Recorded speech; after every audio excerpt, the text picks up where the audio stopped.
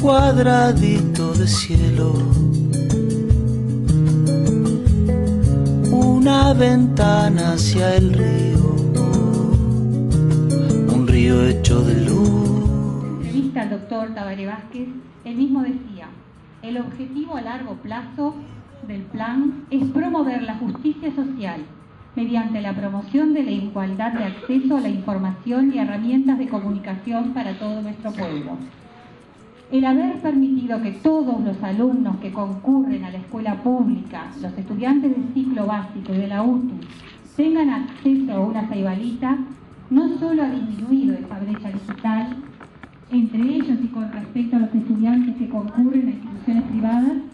sino que ha incluido en dicho proceso hermanos, madres y padres de dichos niños y jóvenes, que ellos son la razón de que nosotras estemos acá y que ustedes estén acá,